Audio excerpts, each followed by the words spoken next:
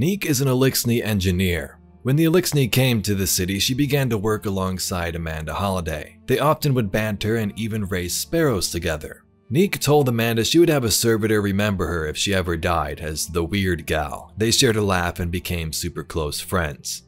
This season, from the to be remembered Sparrow, Neek is trying to start a Sparrow, fix one up, but the engine keeps burning out. As she weeps on the floor, her servitor plays a hologram of her and Amanda working on a Sparrow from the past. She ends up smiling and gets back to work. This same Sparrow and Eliksni can be seen in the hangar at times.